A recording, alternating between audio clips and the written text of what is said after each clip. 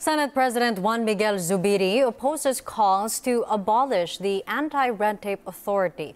Vivienne Gulla now joins us for more details. Viv?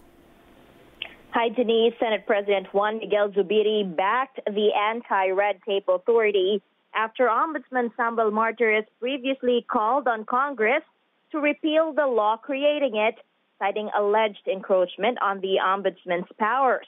Zubiri said abolishing the ARTA would be 1,000 steps backward to the wrong direction, noting that reducing red tape and improving ease of doing business are best practices in other countries that attract investors.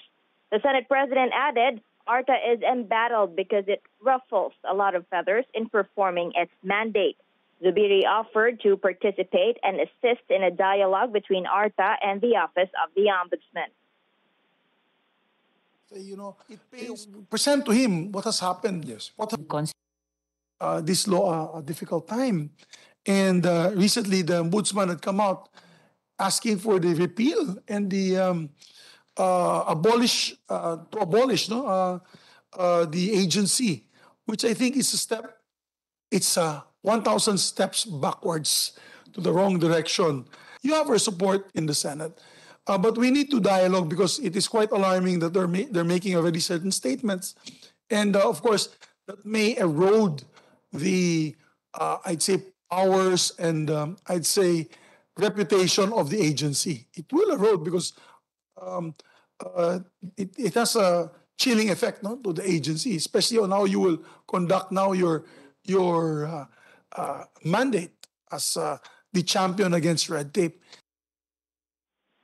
ARTA's officer in charge and Deputy Director General for Operations Ernesto Perez told the Senate Finance Subcommittee that the agency has already communicated with the Office of the Ombudsman to seek a dialogue. In a letter it sent to the said office, ARTA also asserted that it is not encroaching on the Ombudsman's authority because it submits its findings and recommendations on complaints to either the Office of the Ombudsman or the Civil Service Commission. Zubiri suggested that ARTA also present their side to the president, saying that in a brief conversation he had with him, the president mentioned that perhaps the ombudsman's position has merit. Zubiri also urged Trade Secretary Alfredo Pascual to express support for ARTA. ARTA requested the Senate to amend the proposed 2023 budget for the agency by 150 million pesos noting that the budget allocated by the Department of Budget and Management is insufficient to run the operations of its regional offices. ARTA has a proposed 2023 budget of 266.5 million pesos under the National Expenditure Program, less than half of the 801.79 million pesos it requested. The Senate Finance Subcommittee approved on Thursday the proposed 2023 budget for ARTA. Denise, back to you. Thanks, Viv. The Philippines' Socio-Economic Planning Agency focusing on the big picture. Secretary Arsenio Balisacan notes labor market indicators actually improved year on year.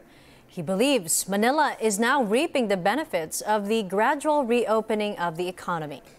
Moving forward, Balisacan vows to harness the benefits of key economic liberalization laws to attract more investments and generate more jobs. The unemployment rate in the Philippines rises to 5.3% in August. That translates to 2.68 million jobless Filipinos, a slight increase from July's 2.6 million, which was the lowest since the pandemic began. The fisheries sector saw a big increase in joblessness. Underemployment also rose. From 13.8% in July, it jumped to 14.7% in August, or over 7 million underemployed Filipinos. The higher underemployment rate underscored what analysts have said is an issue of job quality in the country.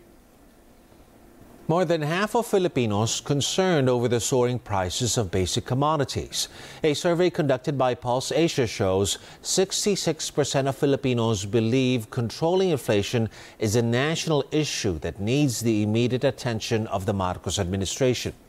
The results of the survey came out a day after the Philippines recorded its highest inflation print in nearly four years. The study's 1,200 respondents also believed government should focus on increasing the pay of workers, creating more jobs and reducing poverty.